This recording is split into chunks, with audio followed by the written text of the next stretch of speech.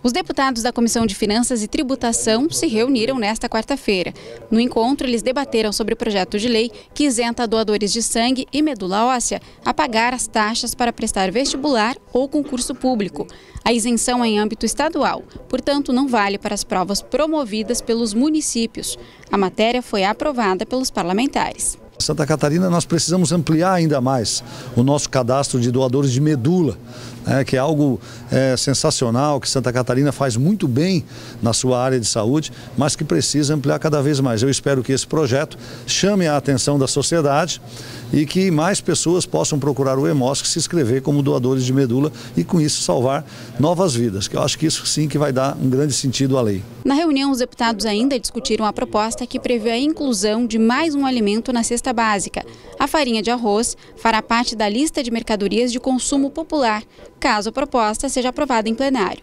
O objetivo da matéria é incluir esse item para facilitar o acesso do produto às famílias de baixa renda. O objetivo é, primeiro, é, apoiar um setor produtivo que gera emprego. Segundo, a preocupação também em trazer a farinha de arroz para a alimentação do dia a dia do catarinense, por ela ser mais saudável do que outros tipos de farinha. E um produto que agrega valor, que gera emprego no nosso estado e criar condições de igualdade de competitividade da indústria catarinense com a indústria do resto do país.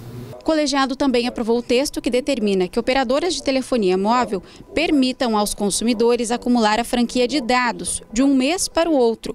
Isso não é permitido hoje.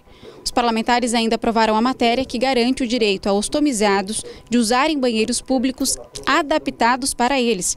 A ideia é fazer com que o governo do estado instale equipamentos adequados para a utilização. A Secretaria de Saúde informou que, se o projeto for aprovado, fará as adequações conforme disponibilidade de orçamento.